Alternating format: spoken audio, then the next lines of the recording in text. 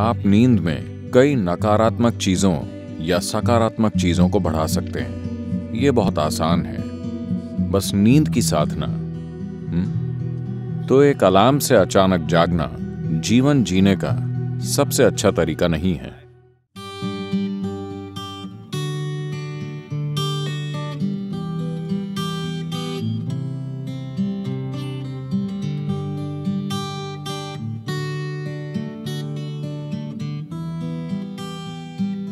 आप में से कितने लोग किसी दिन सुबह उठने के बाद बेवजह बहुत बुरा महसूस करते हैं? बिल्कुल बेवजह। अगर साल में कम से कम दो, तीन बार भी ऐसा हो रहा है, अगर ऐसा है तो आपको सोने से पहले कुछ चीज़ें करनी चाहिए। यह बहुत ही महत्वपूर्ण है। क्योंकि आपको समझना चाहिए कि आप नींद में कई नकारात्मक चीज़ों या सकारात्मक चीज़ों को बढ़ा सकते हैं। आप नींद में सुखदता या अप्रियता को बहुत कुशलता से बिना रुकावट के बढ़ा सकते हैं। आप दिन में भी उन्हें बढ़ा सकते हैं, पर कई रुकावटें होंगी, वो बहुत कुशलता से नहीं होता। पर अगर आप किसी निश्चित तरह से सोने जाते हैं, और सुबह बहुत बुरा महसूस करते हुए उठते हैं, बिल्कुल बेवजह तो मतलब आप रात में बहुत कुशलता से चीज़ों को सेते हैं, खराब अंडों को। बात सिर्फ़ मानसिक अशांति की नहीं है। ये समय के साथ बड़ी शारीरिक समस्याएँ पैदा कर सकता है। ये महत्वपूर्ण है कि आप इन चीज़ों को अपने जीवन से हटाएँ।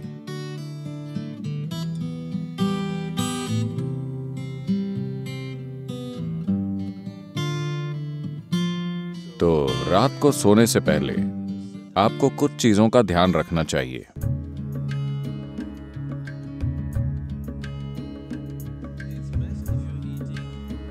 अगर आप मांस और वैसा भोजन करते हैं तो उसे सोने से कम से कम तीन से चार घंटे पहले खाएँ, ताकि पाचन पूरा हो जाए। सोने से पहले थोड़ा पानी पीकर सोने जाएँ। आप देखेंगे कि इसी से वो ठीक हो जाएगा। एक आसान चीज़ की जा सकती है, वो है स्नान। हमेशा सोने से पहले नहाएँ, इससे काफ़ी फ़र्क पड़ता है।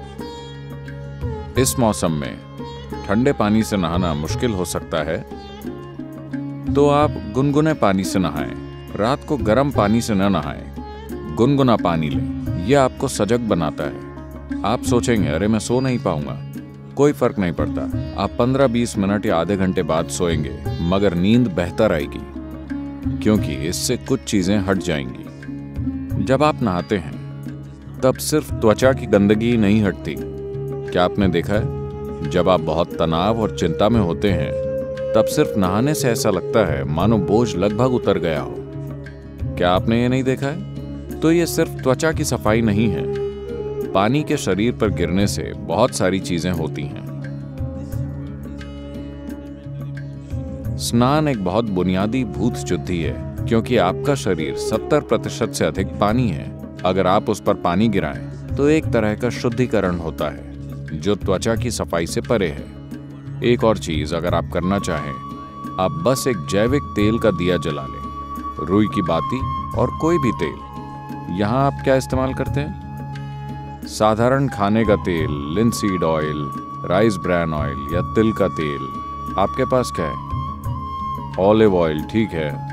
रुई की बाती के साथ कोई भी जैविक तेल लेकर एक छोटा दिया उस कमरे में कहीं जला लें जहाँ आप सोते हैं। आप देखेंगे कि ये चीज़ें बिल्कुल गायब हो जाएँगी। अगर आप कोई मंत्र जप सकें या सोने से पहले रात को योगाभ्यास कर सकें तो बिस्तर पर बैठकर उसे करें। अगर आप ईशा क्रिया करना चाहते हैं तो वो नेट पर उपलब्ध है।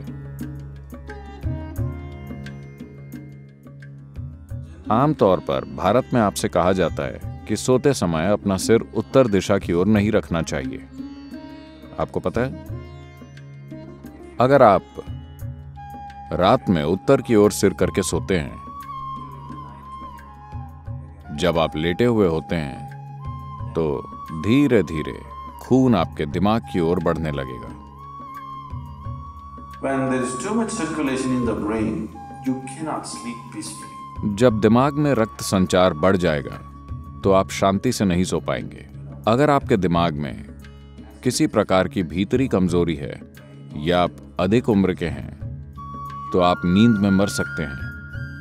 हैमरेज हो सकता है, क्योंकि ज़्यादा खून दिमाग में घुसने की कोशिश करता है, जहाँ खून की नसें बाल जैसी होती हैं, और चुंबकीय शक्ति कुछ ज़्यादा खून भेजती है। सीधे खड़े होते समय ऐसा नहीं होता। जैसे ही आप लेटते हैं, सिर की ओर यह खिंचाव इतना तीव्र होता है कि खून धीरे धीरे दिमाग की ओर जाने की कोशिश करता है। तो इससे बचने के लिए यह सिर्फ़ उत्तरी गोलार्ध के लिए है। अगर आप ऑस्ट्रेलिया जाएँ तो आपको सिर दक्षिण की ओर नहीं करना चाहिए। अगर आप भारत में हैं तो आपको सिर उत्तर की ओर नहीं रखना चाहिए। आप उसे और किसी भी तरह रख सकते हैं। वो ठीक है। इसे अपने मन में रखें कि आप सच में नाशवान हैं, ठीक है? सिर्फ़ शब्दों में नहीं, सच में। आप अभी मर सकते हैं। आप युवा हो या बूढ़े, कोई फ़र्क नहीं पड़ता। आप अभी मर सकते हैं। आया ना? सोने से पहले बिस्तर पर बैठकर सोचें कि यह आपकी मृत्यु शैया है। आपके पास जीने के लिए सिर्फ़ एक मिनट और है। पीछे मुड़कर देखें कि आपने आज जो किया, क्या वो सार्थक है? सिर्फ़ ये आसान अभ्यास करें। और आप नहीं जानते कि ये असल में कब होगा। आप मृत्यु शैया पर बैठे होंगे या अस्पताल में लेटे होंगे और कई तरह की चीज़ें आपसे जुड़ी होंगी। किसे पता वो कैसे होगा? पर रोज इसका आनंद लें। कि आप अपनी मृत्यु शैया पर बैठे हैं। पीछे मुड़कर देखिए कि आज मैंने इन 24 घंटों में जो किया है, क्या वो सार्थक है? क्योंकि अब मैं मर रहा हूँ। अगर आप ऐसा करेंगे तो आप एक सार्थक जीवन जिएँगे। मेरा विश्वास कीजिए। तो रोज रात को सोने से पहले आप सभी को ऐसा करना चाहिए। आखिरी तीन मिनट। जो भी चीज़ें आपने इकट्ठा की हैं, शरीर, मन की बातें, चीज़ें छोटी चीज़ों को अनदेखा मत कीजिए। ये छोटी चीज़ें बड़ी चीज़ें हैं। मैंने देखा है कि कैसे लोग अपना तकिया भी लेकर चलते हैं। क्योंकि वो बहुत महत्वपूर्ण है। तो आपका तकिया, आपकी चप्पल, अगर आपके रिश्ते हैं, सब कुछ जो आपने इकट्ठा किया है, उसे एक और रखकर सोइए। अगर आप इस स्थिति में सोएँगे तो आप अधिक रोशनी, अधिक ऊर्जा और आपकी कल्पना से भी अधिक संभावनाओं के साथ जागेंगे। बस जीवन के रूप में सोइए, पुरुष या स्त्री के रूप में नहीं, इस या उस रूप में नहीं। सब कुछ नीचे रख दीजिए। बस। ये बहुत आसान है। सिर्फ़ नींद की साधना। कम से कम इतना आपको करना चाहिए।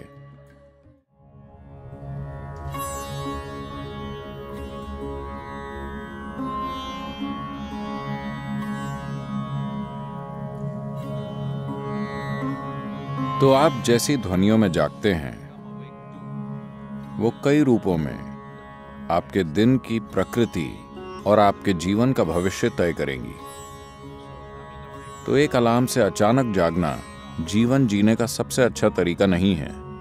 अच्छा होगा कि अगर आपकी नींद जिस तरह का भोजन आप करते हैं और जिस तरह के विचार और भावनाएँ अपने अंदर रखते हैं और आपने अपने शरीर में जीवंतता का जो स्तर बनाए रखा है, उससे तय होगा कि आपको कितनी नींद की ज़रूरत है। मान लीजिए आपको तीन, माफ़ कीजिए, मान लीजिए आपको आठ या बारह घंटे की नींद की ज़रूरत है। मैंने गलत संख्या बोल दी। आपको जितनी भी नींद चाहिए आप अपनी ज़रूरत जानते हैं। So you go to bed early. तो पर्याप्त जल्दी सोने चले जाएँ ताकि आप अपने आप जाग सकें। अगर आप खुद जागते हैं और मान लीजिए आपको संदेह है कि आप जाग पाएँगे या नहीं तो अगर आपके पास कोई मंत्र है अगर आप किसी वैराग्य मंत्र से जुड़ गए हैं तो आप उसका इस्तेमाल कर सकते हैं। शारीरिक रूप से आपका एक महत्वपूर्ण पहलू है। आपका हृदय, जो आपके रक्त संचार के लिए पंपिंग स्टेशन है, जो शरीर में जीवन भरता है, ये ना हो तो कुछ नहीं होगा। ये बाई तरफ़ से शुरू होता है। तो आपको पता है, भारत में आपसे कहा जाता है कि आप जब जागें तो आपको दाहिनी तरफ़ करवट लेकर उठना चाहिए। बताया? अगर आप बाई तरफ़ करवट लेकर उठेंगे तो आपके साथ खराब चीज़ें होंगी। खराब चीज़ें उस तरह नहीं। जब आप आराम की स्थिति में होते हैं, जब शरीर आराम में होता है तो मेटाबॉलिक क्रिया धीमी होती है जब आप उठते हैं तो सक्रियता में एक उछाल आता है इसीलिए भारत में कहा जाता है, देखिए, ये चीज़ें जीवन का हिस्सा थीं, इन्हें आप छोड़ रहे हैं जीवन का पूरा विज्ञान जीवन का हिस्सा था आपसे कहा गया कि सुबह जागने से पहले अपनी हथेलियाँ आपस में रगड़कर ऐसे देखना चाहिए हुँ? Not see like this. You must place it upon your eyes. देखना नहीं, आपको उसे अपनी आँखों पर रखना चाहिए। आप ऐसा कीजिए, आपको भगवान दिखेंगे।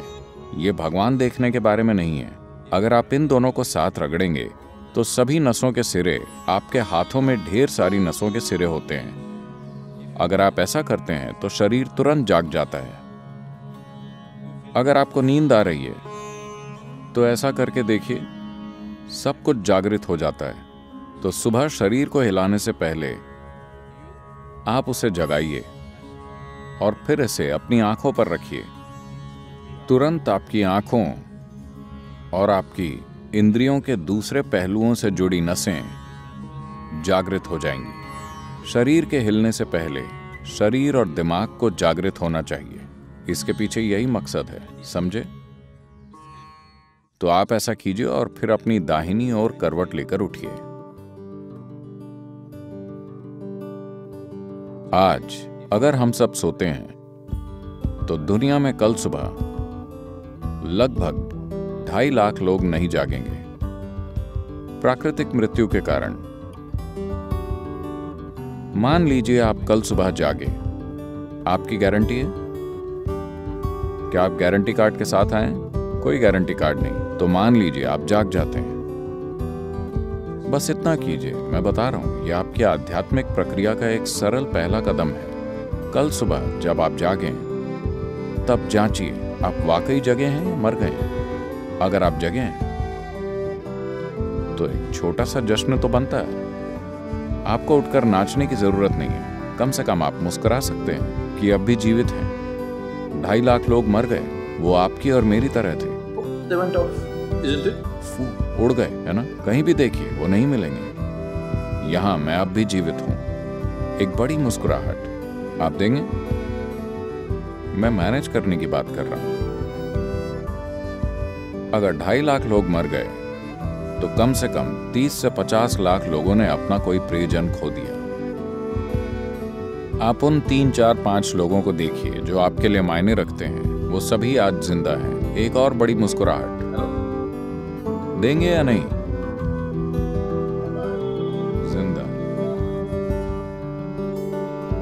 अगर मान लीजिए, अभी हम आपके सिर पर बंदूक रख देते हैं, क्या आप राहत महसूस करेंगे? नहीं, आप डर जाएँगे, है ना? तो जीवित होना इतना कीमती है है कि नहीं? आपका जीवित होना इतना कीमती है।